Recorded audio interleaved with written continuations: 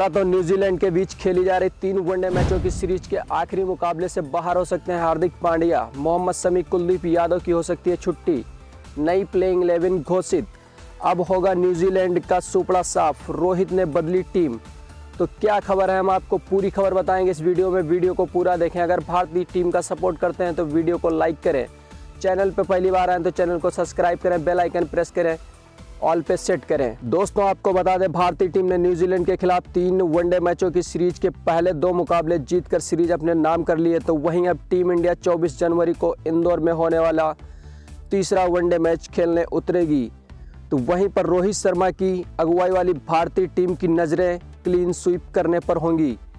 इससे पहले टीम ने श्रीलंका के खिलाफ भी तीन शून्य से क्लीन स्वीप किया था। लेकिन अगर वर्कलोड मैनेजमेंट की बात करें तो खिलाड़ियों के फिटनेस को ध्यान में रखते हुए तीसरे वनडे मैच में टीम इंडिया कुछ बहुत बड़े बदलाव कर सकती है।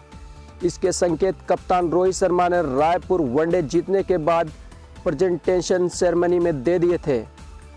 आपको बता दें, कप्तान रोहित शर्मा ने कहा था कि ऑस्ट्रेलिया के खिलाफ आगामी टेस्ट सीरीज़ को ध्यान में रखते हुए वो मोहम्मद शमी और मोहम्मद सिराज के वर्कलोड मैनेजमेंट को ध्यान में रखे हुए हैं। उन्होंने ये भी कहा था कि नहीं पता है कि इंदौर वनडे में क्या रणनीति होगी भारतीय टीम की।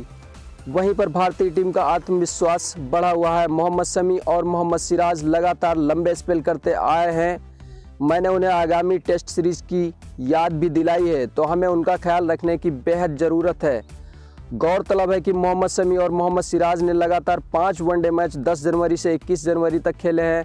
ऐसे में 24 जनवरी को कप्तान रोहित शर्मा टीम में बड़े बदलाव कर सकते हैं। गौरतलब है कि मोहम्मद सिराज और मोहम्मद शमी के अलावा हार्दिक पांड्या का फिट रहना भी टीम इंडिया के लिए बेहद ज़रूरी है। श्रीलंका सीरीज़ से पहले दो मैच जीतने के बाद हार्दिक पांड्या को तीसरे वनडे में आराम दिया गया था तो वहीं 27 जनवरी से 1 फरवरी तक तीन मैचों की टी सीरीज़ में उन्हें न्यूजीलैंड के खिलाफ कप्तानी भी करनी है। इस स्थिति में कप्तान रोहित शर्मा हार्दिक पांड्या की जगह तीसरे वनडे में शहबाज अहमद को मौका दे सकते हैं। और वहीं मोहम्मद शमी या सिराज में से किसी एक को आराम देकर उमरान मलिक को मौका दिया जा सकता है। ऐसे में बात करें तो मोहम्मद शमी को आराम देने की ज़्यादा चांस है, क्योंकि वो उम्र दराज खिलाड़ी है, जबकि मोहम्मद सिराज एक अभी युवा खिलाड़ी हैं। तो वो तीसरे वनडे में पेस बैटरी को लीड करते दिख सकते हैं।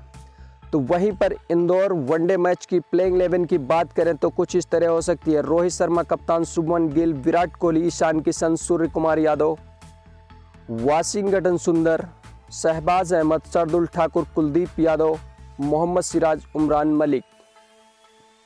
तो आपको वीडियो कैसी लगी हमें कमेंट सेक्शन में ज़रूर बताएँ। वीडियो को लाइक करें, चैनल को सब्सक्राइब करें। धन्यवाद।